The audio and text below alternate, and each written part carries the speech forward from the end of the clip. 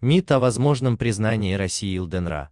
Это будет очевидным выходом из Минска. Министр иностранных дел Украины Дмитрий Кулеба заявил, что признание России ЛДНР будет означать выход Москвы из Минских соглашений. Ранее в Государственную Думу РФ внесли проект обращения к президенту Владимиру Путину с просьбой признать так называемые Донецкую и Луганскую народные республики. Об этом сообщает РБК Украина со ссылкой на интервью Дмитрия Кулебы «Радио Свобода».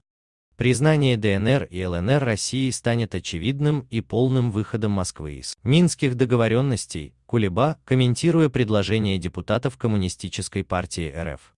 Напомним, первый вице-спикер Верховной Рады Александр Корниенко считает, что если РФ признает ЛДНР, то последствия этого для Украины будут более опасными, чем аналогичные сценарии в Грузии.